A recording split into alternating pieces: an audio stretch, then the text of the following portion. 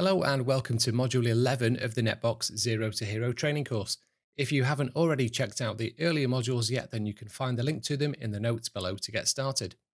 For this demo, I'm using a Docker instance of NetBox running locally on my laptop. If you'd like to follow along with the demo, then you can easily do that.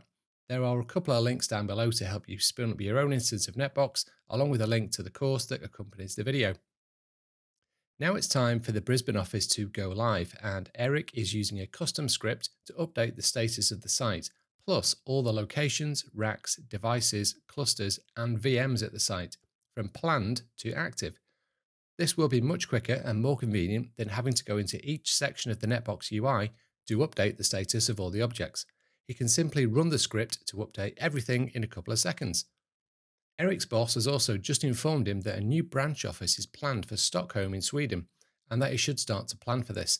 As the company has standardized on the same network equipment for all branch office locations, Eric is going to use another custom script to create the planned site in Netbox and populate it with all the network devices that he's planning to deploy there. Eric is logged into Netbox and has already copied the two scripts into the scripts folder on the Netbox server. To view the available scripts, they are under the Other section and under the heading Scripts. And here you can see the two scripts that are available to run. The first one that Eric will run is the site status bulk updater script. And if you click on it, you can see the description. This script will update the status of a site and all locations, racks, devices, clusters, and VMs. So before we run the script, let's take a look at the code. I've opened the file called site status bulk updater.py, and starting at the top, there are the import statements all custom scripts must inherit from the extras.scripts.script base class. This class provides the functionality necessary to generate forms and log activity. Next, as the script is working with objects within the DCIM and virtualization data models, we import some classes from here too. Taking virtualization as an example, from virtualization.models, we import the virtual machine and cluster class. And from virtualization.choices, we import virtual machine status choices and cluster status choices. If you're not familiar with Python or you're just starting out with it, then it will help to view the source code of Netbox in the Git repo to see what these import statements are doing. So from the UI, scroll down to the bottom and click on the source code icon to take you there. Okay, so if you navigate to Netbox Virtualization Models and then virtualmachines.py and scroll down to Class Virtual Machine, you see the base class for a virtual machine that is being imported into the custom script. Next, if you navigate back to virtualization choices.py, you can see, for example, the class of cluster status choices, and you see the status choices available for clusters. So as the custom script is importing these Python classes, we can make use of them to be able to update the status of virtualization objects.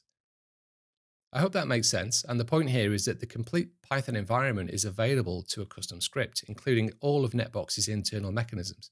So if you're developing your own custom scripts, then at some point you'll probably need to refer to the NetBox source code. Okay, back to the script itself. After the imports, you have the script class that inherits the script base class.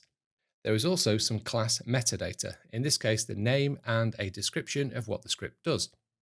The next section is a set of variables that the script will use, and you can see that these map to the user inputs for the script in the web UI. For example, the first input is the site name, and this means the user will see a drop-down menu containing a list of the sites. The next variable is site status, and this makes use of the site status choices class, which means that the user is presented with a drop-down of the available status choices for sites, with a default value of active. Then moving down, the other variables are very similar in that they display the available status choices for each object type. Okay, that's the script variables. Now the other component that a custom script needs to have is a run method, and this is where your script's execution logic lives. The run method accepts two arguments, data, which is a dictionary containing all the variable data passed in via the web form, and commit, which is a boolean, i.e. either true or false, indicating whether database changes will be committed or not. So the first part of the code here from line 59 down to line 62 is making the update to the status of the site object, which is pulled from the site objects using the get method with the name being passed in as the value of the site name key from the data dictionary. Then the status is set to be the value of site status, and the object is then saved and a log message written on a successful update.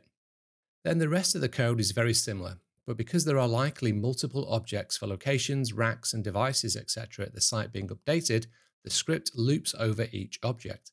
For example, in lines 66 to 69, for each location matched by filtering the location objects by the site name, the script updates the status, saves the object, and writes a log message.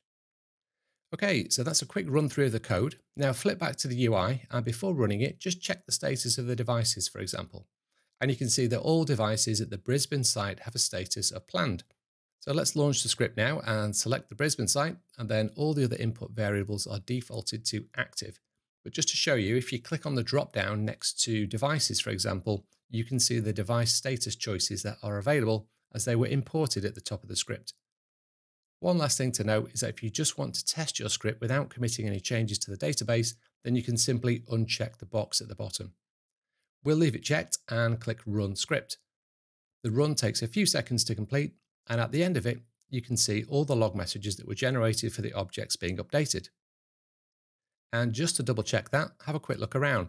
And the site is now active.